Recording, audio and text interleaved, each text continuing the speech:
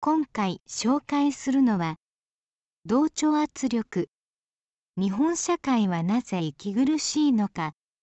という本です。コロナ禍の日本社会を考える本。コロナ禍である。正直暇でバカなネット民の同調圧力は諦めている。自分で考えもせず適当に書かれた不確かな情報に右往左往する連中はどうしようもありません。バカが通り過ぎるまでそっと息を潜めるしかないのです。私が気になるのはこの本にも取り上げられているポピュリズム政治家主張たち法律の根拠もなく個人が特定されそうな情報をこれ見よがしに垂れ流している。私の出身県では保健所からの情報でコロナにかかった女性の居住庁年代勤務先のキャバクラ名。場所を得意げに公表している。地方の町でキャバクラに勤めることがバレるとそれなりのリスクもあるだろう。もしかすると彼女はシングルマザーで子供がいるかもしれない等の想像力は働かないのだろうか。そもそも日本国民には職業選択の自由があり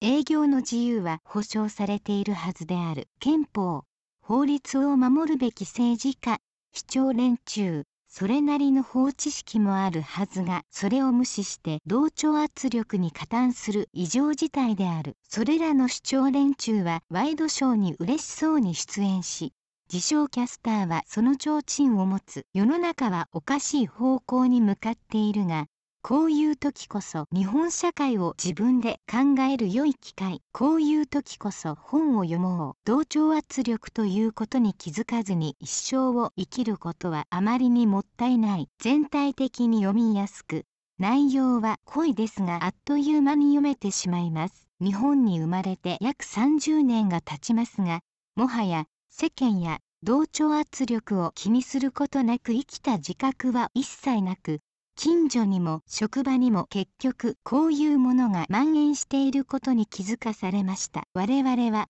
時に物事を自分で決断するように言われますが世間や同調圧力を気にしながらの選択肢は限定的で自由なようでかなりな不自由を強いられています。ここに気がつかないのには古くからの親や学校による教育に原因がありある意味洗脳されてきたのだと思います。日本人にとってこの生きにくい息苦しさから脱け出すためにはこういう当たり前や常識に対して気づくきっかけが必要なのですがそのきっかけも本書のような書籍や一部 YouTuber の発信から受け取るに限られています。個人的にこういう気づきをあと15年早く得られていたらもう少し人生に功を発揮できたように感じますが今からでも遅くなさそうなのでこの瞬間から活かせそうです。コロナ禍はある意味我々に気づきを与えこれを機に日本人のこの